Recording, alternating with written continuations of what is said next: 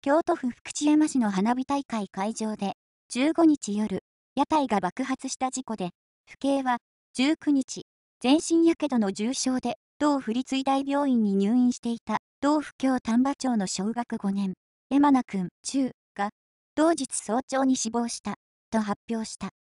この事故による死者は2人になった。府警によると、山名くんは、全身の60%に大やけどを負って、同府綾部市の同市立病院に搬送された後、府立医大病院で治療を受けていた。府警は司法解剖して、詳しい死因を調べる。府警によると、山名くんは、祖父の知人で17日に死亡した道長の竹内博美さん44らと会場を訪れ、火元とみられるベビーカステラの屋台後方にある土手の階段にいたとみられる。府警によると、負傷者は58人になり、16人が重傷。